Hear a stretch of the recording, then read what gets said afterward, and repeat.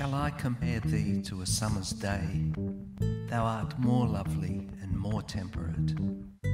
Rough winds do shake the darling buds of May, and summer's lease hath all too short a date. Sometime too hot the eye of heaven shines, and often is his gold complexion dimmed. And every fair from fair sometime declines, by chance or nature's changing course untrimmed. But thy eternal summer shall not fade, nor lose possession of that fair thou owest, nor shall death brag thou wanderest in his shade. When in eternal lines in time thou growest, so long as men can breathe or eyes can see, so long lives this, and this gives life to thee.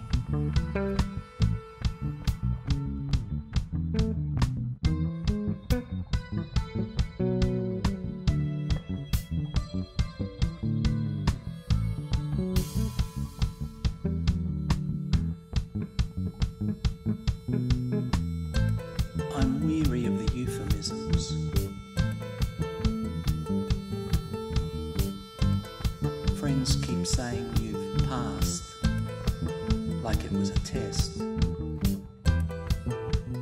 Meanwhile, most of you went up in flames, and we're all breathing in your molecules on a daily basis.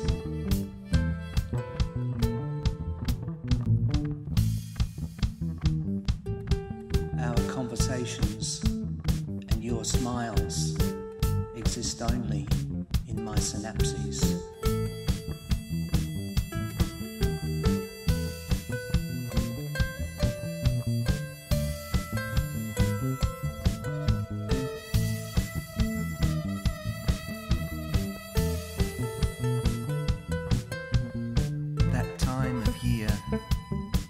Thou mayest in me behold,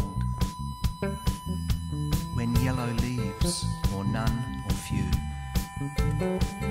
do hang upon those boughs, which shake against the cold, bare ruined choirs, where late the sweet birds sang.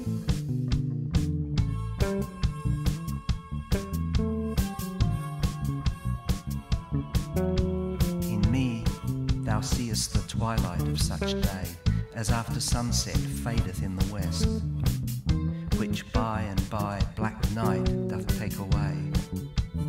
Death's second self that seals up all in rest. In me thou seest the glowing of such fire that on the ashes of his youth doth lie, as the deathbed whereon it must expire, consumed with that which it was nourished by. This thou perceivest, which makes thy love more strong, to love that well which thou must leave